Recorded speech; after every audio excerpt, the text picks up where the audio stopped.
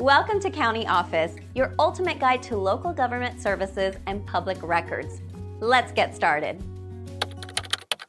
What is FMCSA compliance? NFMCSA stands for Federal Motor Carrier Safety Administration. Compliance refers to following regulations set by the FMCSA to ensure safety in the commercial motor vehicle industry.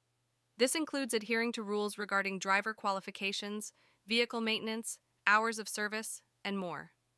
Noncompliance can result in fines, penalties, or even the suspension of operations.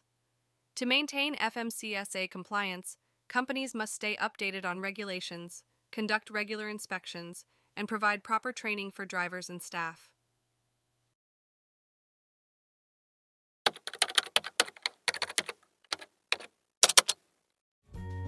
To learn more, check out these links, which you can click in the description below. And feel free to comment your questions. We're here to help. Thanks for tuning into our video. Please like and subscribe and leave a comment below. See you in the next video.